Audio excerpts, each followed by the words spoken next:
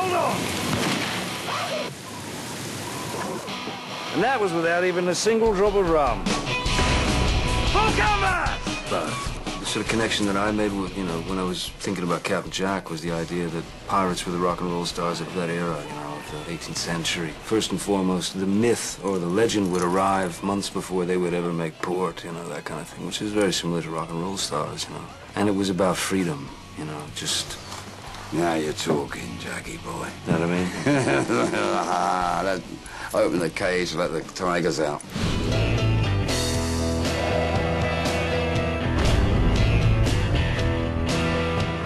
It was a long shot. The fact that he agreed to do it, and it was, you know, above and beyond, like a, you know, dream come true kind of thing. Hello, you having a good time? Yeah, very much, yeah. Good. Keith Richards, you know, is somebody who's a, you know, an icon to all of us, and, and Johnny based his character partially on Keith. So that's the reason for all the... I've been aware of, you know, Keith and the Stones certainly for a very long time, since I was a kid, and, and was a, you know, instant, huge fan. Keith arrives on set, and suddenly, every single person from the crew that you haven't, guys you haven't seen in years, show up, and they're, they're all standing there, just, you know, watching the arrival of the maestro. I am, I suppose. You know, I mean, I, I, I didn't become, I know, everybody out there made me one. Uh, you know, I mean, pleased to meet you, guess you know my name. Barbarossa is right. Hang on a minute. It's Barbossa. Um, Sorry I got your name wrong. you love it that much. Great, so do I. You know, I mean, bless everybody for it. You know, one love, you know. It's in tune. It's in tune. I'll be your, I'll be your, your rodeo choice tonight. The first time I met Keith Richards, I'm on the pirate ship, and he's walking through a bunch of people. He's dressed completely as a pirate, makeup and everything, holding my guitar. It was appropriately surreal. Danny Ferrington built this beautiful guitar in, in about a week.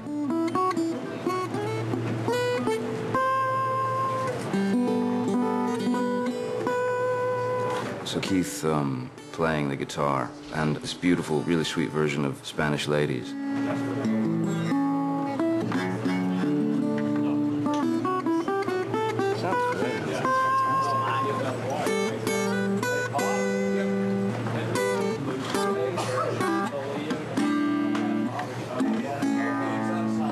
then I break it.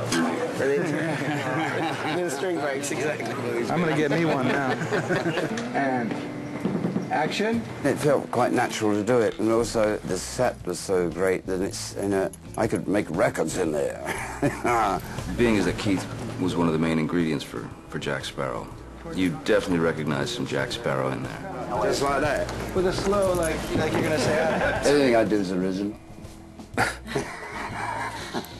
you better believe it. I think Captain Teague is one of those guys who would, you know, give you a hug and then the next minute, you know, might blow you away. The Code is the law. Did you see who I modeled myself on? Unfortunately, he's very large and won't fit in this room. He's somewhere up there, somewhere around, you know. He's not, he's, he's so great, he's invisible. Action. You're in my way, boy. He didn't need me at all, man. No, he came in and, you know, did the right thing right away. I mean, I just turned up with boom. I know what to do. He knows what to do. And just see how it bounces off. I mean, I'm the amateur around here, you know what I mean?